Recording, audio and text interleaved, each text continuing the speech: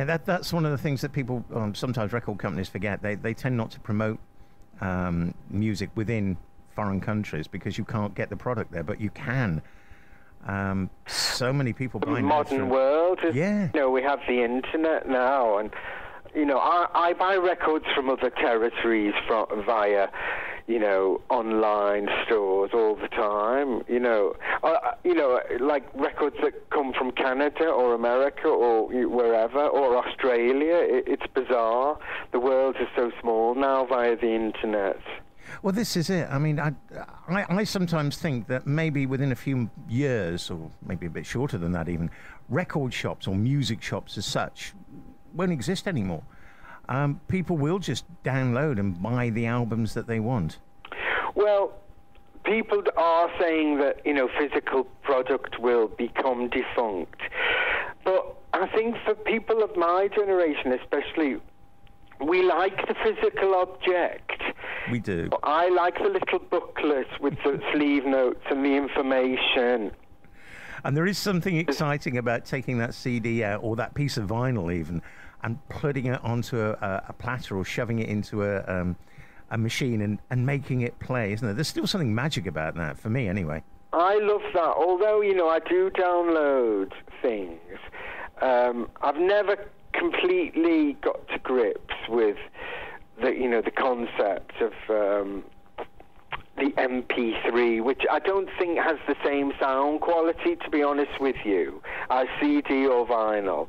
And you know, you, you spend such time making things sound beautiful in the studio, and then it's compressed down to this little digital MP3 that doesn't have the full bandwidth of sound, and it's a bit irritating, really, from from the artist's point of view. Yeah, because when when you hear that sound, I mean, that, that that's the one thing you can never beat. You can never beat a live sound. And uh, yes, you're right. I'm sure you're right that when you when you buy something which is a, a piece of plastic or a piece of vinyl, there is that live feeling in there. Yeah, you're getting the full sonic bandwidth, whereas with the MP3, it's kind of reduced somehow and sounds a little bit tinier, I think. Do you think there's ever any chance of Frankie Goes to Hollywood getting back together again?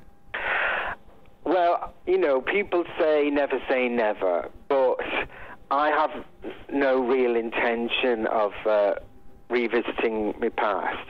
You know, for me, it was a kind of conceptual pop group, and I, I kind in my head, I kind of modelled it on Ziggy Stardust and the Spiders from Mars, a kind of uh, fictitious sort of occurrence, and uh, I really. Uh, don't want to make that backward step. Also, I don't think I could stand the fuss of it all, you know, um, and the sort of media interest that you know that that would Oh, the- track. To be honest with you, There certainly would be that.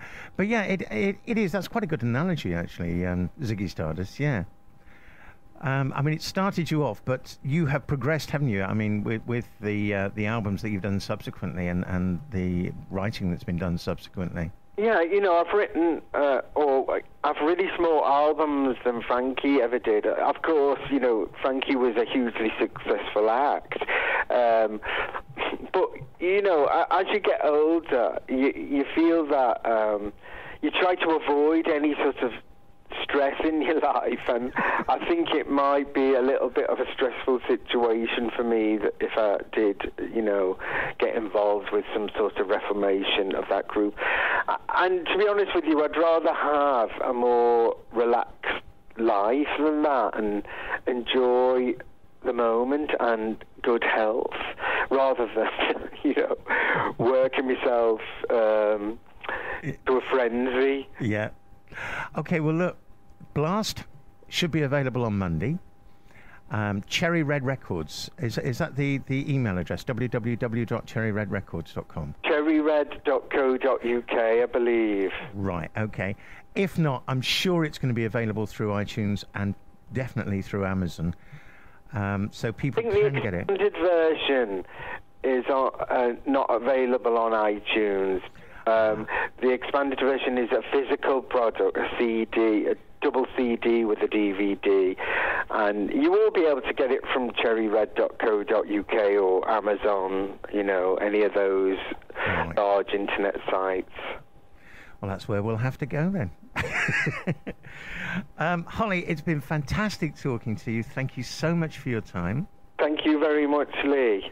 And if you ever get the chance to come down to Spain, we would love to meet you. So, where are you situated in Spain exactly? We're very close to Malaga. Well, we're in between Malaga and Marbella. Oh, how lovely.